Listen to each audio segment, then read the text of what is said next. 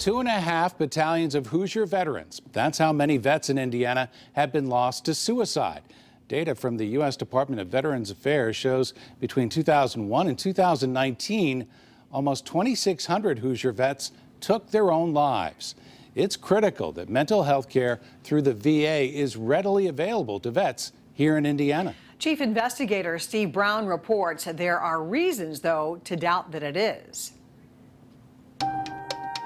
out of the Roudebush VA hospital in Indianapolis, two different stories. The one they're telling us and the one they're telling higher ups at the VA. Now, the watchdog for the VA is the Office of the Inspector General.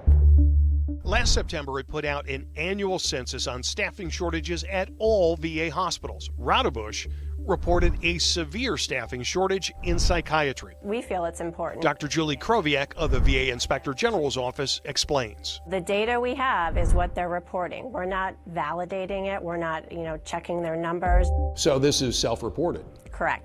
With this self-reported severe staffing shortage, we were wondering about staff vacancies and asked Roudebush about that. In an email, they told us there are 31 psychiatrists on board and one vacancy currently.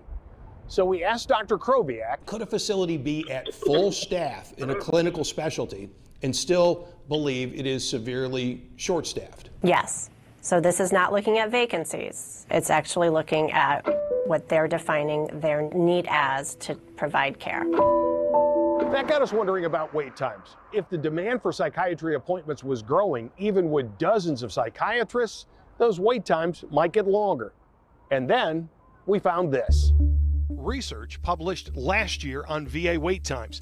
The report drawn from data mined directly from the VA's corporate data warehouse. It's an automated scheduling system. So when the person you know, at a VA facility making an appointment for a veteran you know, puts in their appointment, that actually gets automatically transferred to you know, our nationwide data warehouse.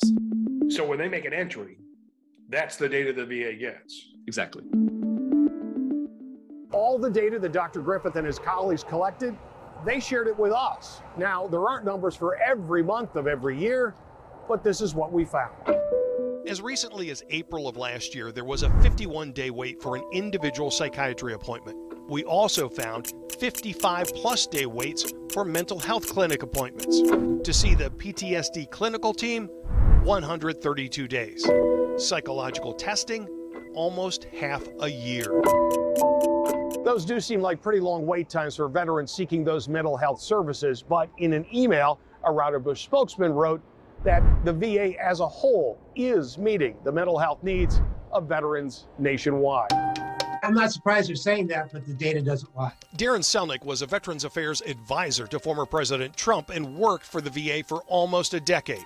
He worries delayed care could lead to tragedy, especially for vets just out of the service. The most dangerous part for a veteran is that first year. They have double the suicide rate the first year after they leave the service. The statistics are incredible. Indiana Republican Congressman Jim Banks sits on the House Veterans Affairs and Armed Services committees. On the quality of mental health care at the VA, Banks was complimentary. The VA does this very well for veterans who are able to access it, but the, the wait times are astonishingly too long. This begs a lot of questions that uh, we certainly will be uh, pushing the VA to answer. Congressman Banks was a sponsor of the Mission Act, a federal law crafted to fix long wait times for VA appointments. Now, if a vet has to wait more than 20 days or has a drive of over 30 miles, that vet by law can access care at non VA facilities. But when it comes to psychiatric care here in Indiana, that law may not help.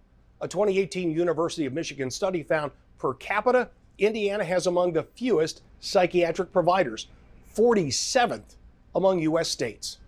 Steve Brown, CBS 4 investigates.